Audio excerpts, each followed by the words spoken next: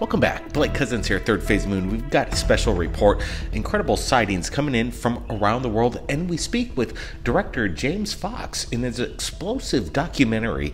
It's being held as one of the most credible examinations of a long standing cover up and a global mystery involving unidentified aerial phenomenon. But before we get to that, let me share you with this a video that has just come into me via my Facebook. His name is Dean Krillin, and he sent me this video from England and he doesn't have any idea what it is. Let's just roll it. And we also have his video testimony. Check it out.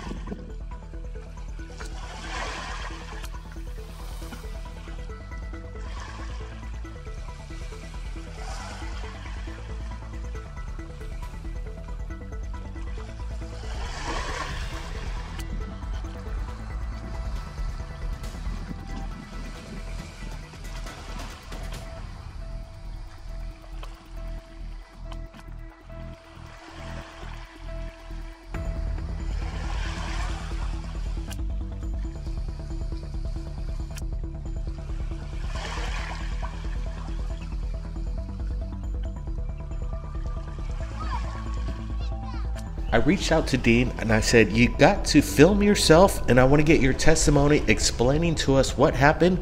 And Dean obliged us. Here it is. Right there, Brent, Blake, uh, Third Phase of the Moon. Yeah, the video like that I took, it was Sunday the 13th of September. It was in England on the Isle of Sheppey. I was out with my family walking the dogs, it was about half eight. Um, just sitting on the rocks watching the kids play and that and then uh, I'm always looking up in the sky. I see some strange stuff but never been able to catch anything. I was just looking out at the wind turbines and uh, see like this little black dot so I grabbed the camera zoomed in and as you can see well, there's this thing going mental. And the, well, like you say the first thing you do you're trying to debunk it yourself. Like is it a drone? It didn't look like any drone to me. Then I did actually think it was a kite but then if you look that far out, uh, you couldn't see anyone out there. Like, I mean, it's in the middle of the ocean. So, well, then I thought perhaps it got caught up in the turbine or something. But it started off on the right, going up and down, up and down. It was like, like I said, it looks like a kite. But then it started moving towards the left and it was like as if it was going along checking all the turbines out. Sometimes it'd disappear, then it'd come back, but yeah, this was about 30 to 40 minutes this thing was buzzing about. Uh, I, I, mean, I, I, can't work out what it is. That's why I sent it to you, see if it stick out to viewers, see if anyone got any other ideas. But that's all I can give you really. I'll, I'll keep looking and I'm always seeing stuff, but it's, it's trying to catch them on the camera. They're too bloody fast. Okay, well, Thanks and check you later. Keep up the good work and all, boys. We've been asking the public a lot to videotape themselves and send us their testimony. It really helps. We appreciate it. It takes a lot of guts coming forward. Um, now we're looking at the video again. I'm getting the enhancements uh, trying to slow it down, getting a little closer look, and grabbing the best parts of his video. He has about six minutes, maybe 10 minutes of this object. It's been out there for a while, but I'm grabbing the best parts. He, he was struggling to capture it. He said this thing was moving super fast through the skies, out there in the ocean, next to the windmills. Uh, what are we looking at? Some people are already stating that this looks like a kite, but uh, we're gonna get even closer look at it when I slow the video down Brent, before I do that, I want to get your thoughts. What do you think's going on here? Yeah, it's just weird. It's over the ocean. Who's out there flying a kite? It's almost impossible. But again, it looks like that. But it's doing these erratic maneuvers and turning and bobbing. Unlike your conventional kite, here's a slow motion, Blake, getting a good close up it has the characteristics of a kite, but look at it as I do a still photograph from it, and we're looking at it closer. You see these uh, cells on it, but we're not seeing. Again, it's very bizarre. Underneath, where's the string? Where's the string? Where? Who's piloting this thing, or basically who's holding the string out in the middle of the ocean. It'd be it's pretty bizarre. And then Dean's description he basically hasn't seen anything like this in the coastline. You would think he'd know what it is, but yeah, he's a security guard. He's a reputable source. Look at this close up again. Have you seen any kite like this? It looks like a drone. Actually, I did some uh, study on kites today just to see if I could find this. Uh, if this is a kite, its model, and I haven't found one that looks exactly like this. Uh, I'm not saying it could be a kite, but I'm not saying it isn't a kite either. This is it's weird. Maybe you could help us out and find out. Yeah, new high tech sort of uh, kite hybrid that we haven't seen yet. Absolutely. We're finding out about a lot of things, just like last night's video. Uh, everybody thought this was the big uh, mothership over New Jersey, and we found out uh, within minutes that it was a blimp. So we're able to confirm things. So if anybody out there has seen this kite, or if it is a kite, uh, show me a light kind of it, and maybe we'll solve this mystery. I, I want to appreciate uh, Dean for sharing us his testimony along with these videos. He asked for help, so that's what we're trying to do. We're trying to solve mysteries here. And speaking of mysteries, James Fox has been trying to solve the biggest mystery of them all. And he's got an incredible documentary coming out. And we're excited to share with you this interview that we had with him a few months ago, but we're happy to share it with you now.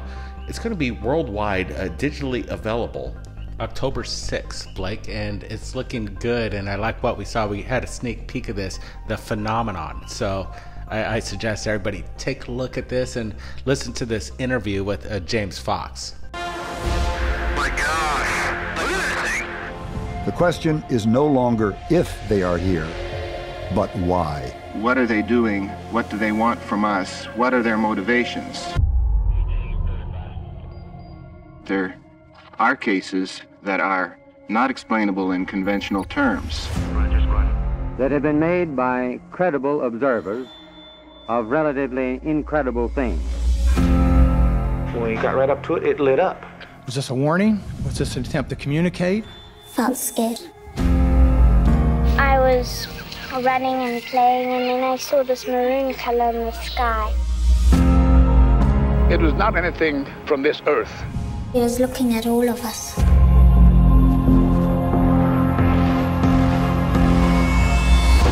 Maybe they're trying to communicate. They were reaching out to us. There is an immense array of unanswered questions and an urgent need to get to the bottom of it. The public has a right to know. The question is no longer if they are here, but why. What are they doing? What do they want from us? What are their motivations? For over 75 years, there have been sightings in the sky. The UFO shut down several missile silos in Montana. Thousands of witnesses worldwide. It had to be a data collection. I'm sure they scanned the warhead. Just kind of hovering there. It never changed its longitudinal axis. And then it goes poof and it takes off off the side. And high level cover ups. The government was covering up what happened at Roswell. Hiding these dark secrets. I was told there wasn't anything there when I knew there was. People need to know there is something else out there. Yes, there have been visitation, crashed craft, material recovered. Shouldn't we be spending some money to study all these phenomena? I knew this was breaking news for the front page of the New York Times. They were trying to communicate, trying to tell us something. Now it's time to tell people about it. These things are real. They're here. This is happening now.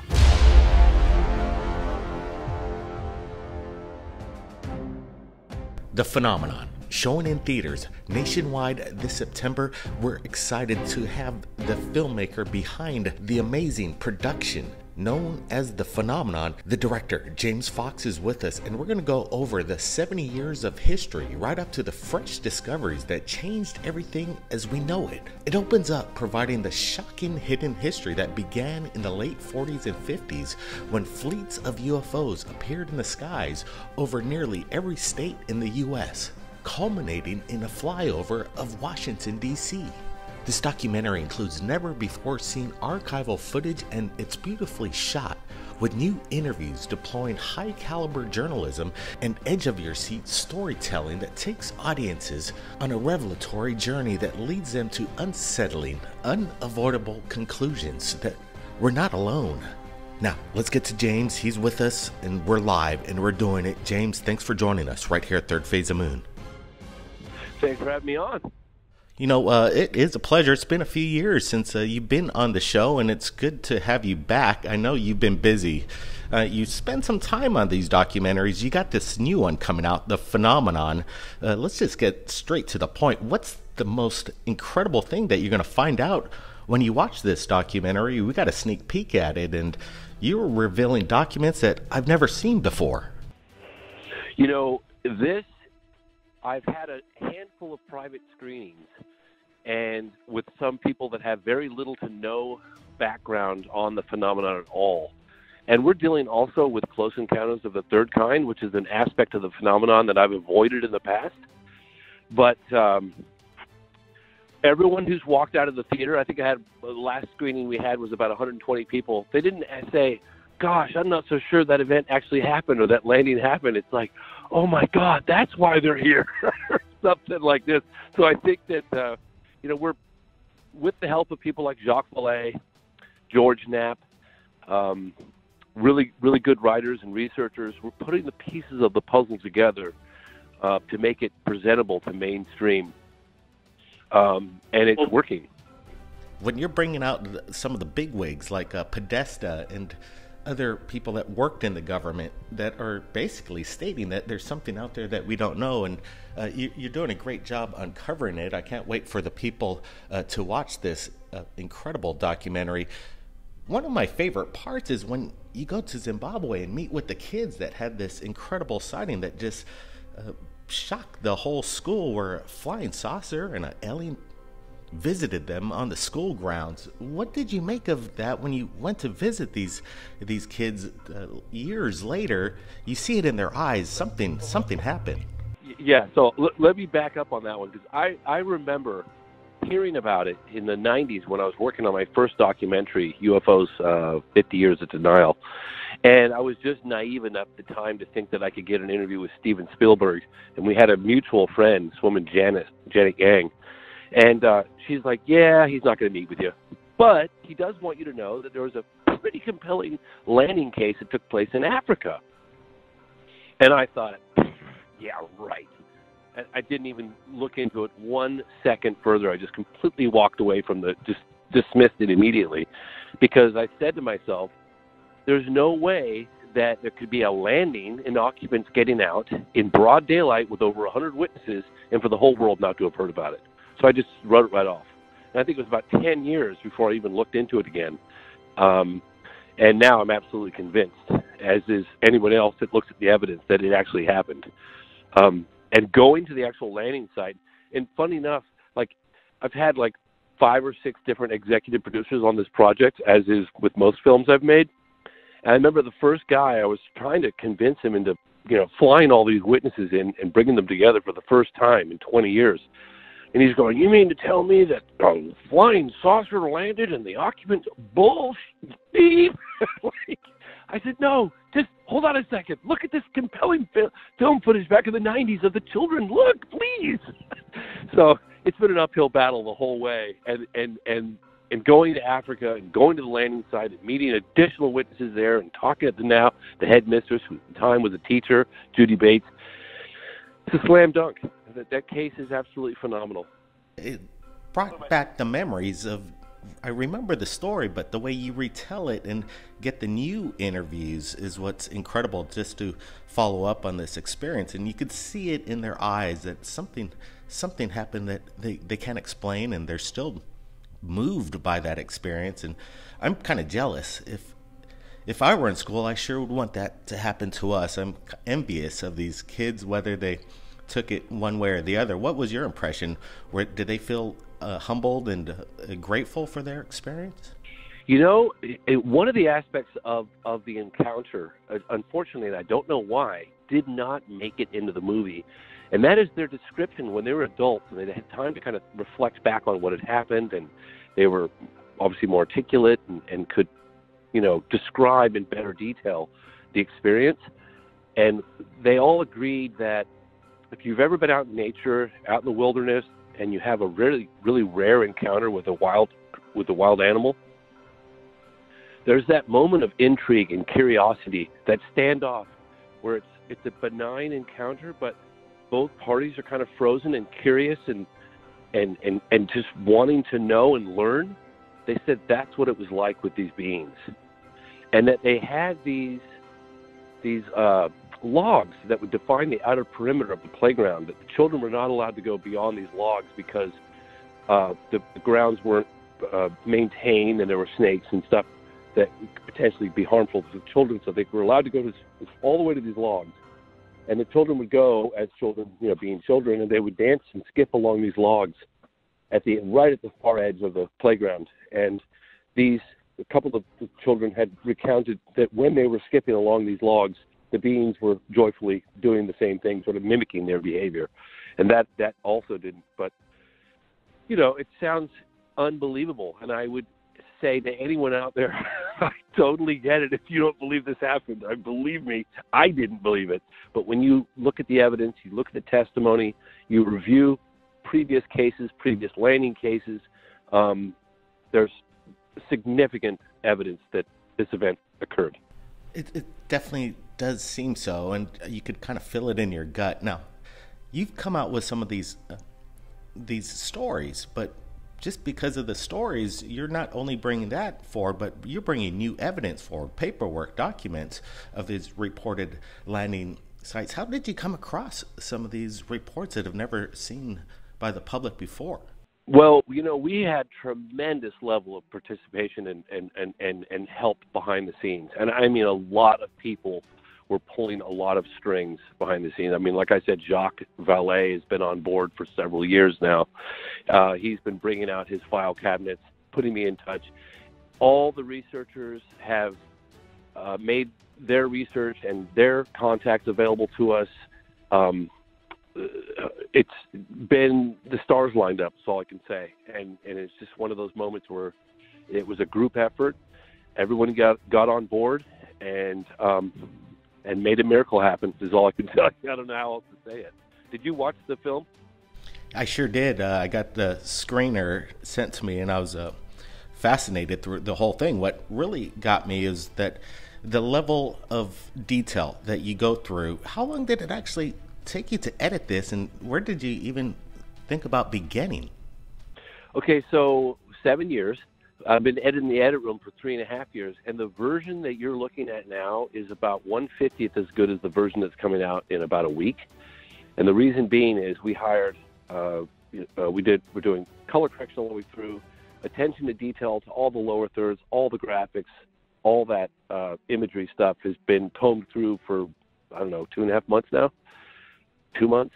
Uh, we hired a sound engineer who's won eight Emmy awards. He works with James Cameron because this is going to get a theatrical release, and so we decided that's one of the reasons why it got delayed a little bit.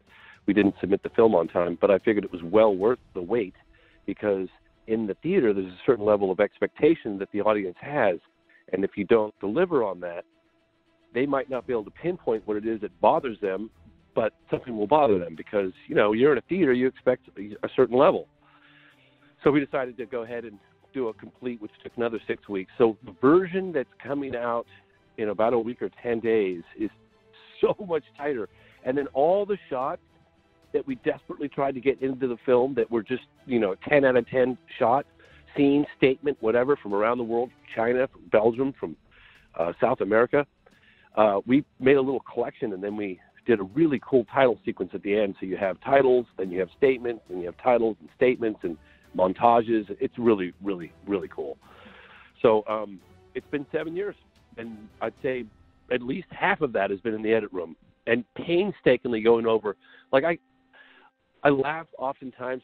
People like go to tie their shoe when they're watching the film. I'm like, okay, you just missed about six months of work because every frame has been carefully thought out. I'm not kidding, really. Yeah, if it's going to be, as you say, with these improvements that what's going to be seen on the big screen, from what I already saw, I can't even imagine how much better it could get. But this uh, sounds pretty exciting. Uh, I'm hoping maybe I could get it on the big screen myself. Let me ask you, it was kind of perfect timing now with the DoD admitting that they were doing an investigation into the UFO phenomenon uh, for approximately, I'm not sure, what was it, about 10 years, $20 million. Now they're admitting that there's something in the skies that they, they don't know what's going on. And you uh, integrate this new news and uh, this new secret program of the investigation into the documentary. How did it all come to fruition when you started working on it seven years ago on this new information that's coming out? Well, we were in the depths of editing, and in fact, I think I might have maybe either just got back from Australia or maybe I just maybe I got back from Africa. I can't remember, but in any case, that New York Times article dropped at the end of 2017, and that was a huge big deal. And I was like, oh, okay, wow. I had a kind of a feeling that something good was going to happen before the end of this film, but I didn't think it was going to be this good. So I had to go back to the investors and say, guys, we got to take another year. We got to document this whole uh, development. And so we went after the key players, and that took some time, and, and it was quite tenuous at best at times. But we miraculously pulled that one off. I mean, getting an interview with Senator Harry Reid and the stuff that he says on camera, that was a, a wow moment for me because I don't know if you recall, I call it the, the, the, the plastic water bottle moment where I ask him a pretty profound question, it's something that we've all suspected has been going on. And he takes a moment, undoes the cap, takes a sip, puts the cap back on, and then delivers the punchline, which was, I mean, I, I, I had to pinch myself sitting down at the time because he, you know, that's about as close to disclosure as I've ever heard yeah, it's yeah. You're gonna have to see the movie to find out this punchline. But let me tell you, it's a, it's a jaw dropper. And what's incredible to me as well is that the information that's getting out, and that we're all on board, and that's what we at Third Phase Moon's about is getting the information out as fast as possible. But to sit on a project for seven years uh, is something that's you know takes some time and a lot of patience. But you did it right. You got the you got the information coming in. Have you got any kind of you know, pushback, any kind of warnings not to come out with this documentary? No, uh, we um, we know that you know we're stepping on some pretty big toes. I know that Senator Harry Reid got a lot of pushback from the intelligence communities when when he wanted to launch AATIP and put some funding into into the the whole phenomenon. Uh, but we have some uh, pretty significant uh, people behind us on this film, so I feel kind of a lot more comfortable, at ease about it all. And I think there's a certain level of participation that's happening for whatever reason. One could speculate. I think there, there's uh, a handful of people that think that it's time for this this reality to come out. It seems to be coming out, and uh, like I said, the stars aligned, and we got unprecedented level of participation at all um, government and military uh, people, and uh, you know, now we're getting a theatrical release, which is just, I mean, it's been a lifelong dream of mine. I mean, I tried with the last four documentaries on the topic to do this, and, and we finally, looks like we finally succeeded. Well, let me tell you, getting to the big screen's no easy feat. We uh, did it last year, and the DCP process, the VPF fees, and the whole uh, aspect of it is uh, monstrous. Just even try and comp- comprehend getting the film into the big screen. But congrats on that, and uh, I'm sure these improvements are going to make it an incredible experience to watch it on the big screen. Let me ask you this: Do you think now that we have the sixth military branch, the Space Force, uh, we're going to be even getting more of these videos coming in from the State Department, the DoD, or are they going to keep it silent? Because even these videos sounds like it's the tip of the iceberg. Well, what I funny enough, I didn't realize this when we got former Deputy Secretary of Defense for Intelligence Christopher Mellon, which was months of, of back and forth before we finally um, made that happen. And I didn't know when I went to meet with him in D.C. that he was instrumental in getting those tapes out of the Pentagon. And they basically they didn't break the law, but they bent the rules. They found a loophole and they walked them out of the Pentagon. But there are so many more from what I'm told, of that haven't been released. Really good, unambiguous, wonderful shots and film footage Um, I know that the Navy confirmed that those were bona fide unidentified aerial phenomena, but they said that we would not have released them to the public. I'm very curious to know who can actually authorize it because one of the things I keep learning over and over again is that it doesn't even seem that our elected representatives have control of this. It, it's kind of baffling to me. It's like, well, who has the authority to have this stuff released? And everyone's like, oh, well, the president, but I don't think he does. I, I'm not sure who does. And I'm not sure what it's going to take to get the real good evidence out of there. Because I can tell you, the stuff that we have is good that we're featuring in the film, but the stuff that's not been released is like, you know, landings. I, I know it. They have land, they have footage of landings. I, I know they do.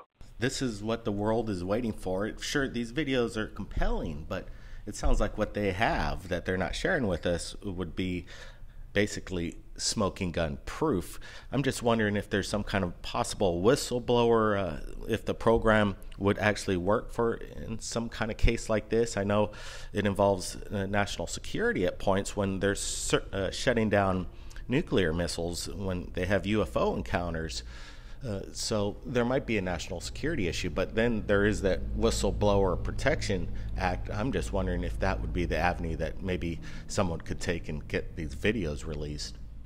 You know, I think that with films like The Phenomenon and efforts coming from the civil, from us, the people, um, arming people with information and educating them as to what's been going on, a lot of people think that oh it's obviously just some sort of new phenomenon and that's one of the reasons why i went into the historical pr- perspective not to bore the um you know the ufo community with more you know stuff. We put a lot of new great wonderful material in archive material but i did it because if we were to penetrate a much broader audience a much more mainstream audience one would have to assume that they don't have the information um, the background history on the topic to even remotely consider the likelihood of the landing at Ruwa, Zimbabwe. So we felt more than just compelled. We felt it was a man. It was mandatory for us to cover the history. We kind of jokingly called it eating our spinach when we were doing it. Eat your spinach, audience. So we had just the right amount of spinach so we could educate the population better as to as to what's been going on and the shift in policy and why the secrecy and how the secrecy and how it's all come about, um, so that they know that programs like AATIP that ended up on the front page of the New York Times is is not uh, the first program, nor will it be the last.